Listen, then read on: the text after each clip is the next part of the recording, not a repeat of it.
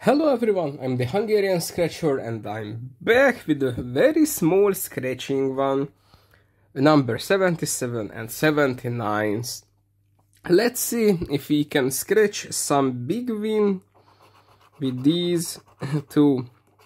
And maybe we win the jackpot by these two random, oh it's 20, so we got our money back with this one and no chance to win with the bonus game. Nice. So money back on this one. And let's see if we can win or lose with this one. The numbers are 7, 8, 9 and 4. So 500 and it's 14. So no win on this one, but 4 and 11 15 and it's 16 so no win on this one. One is winner one is not.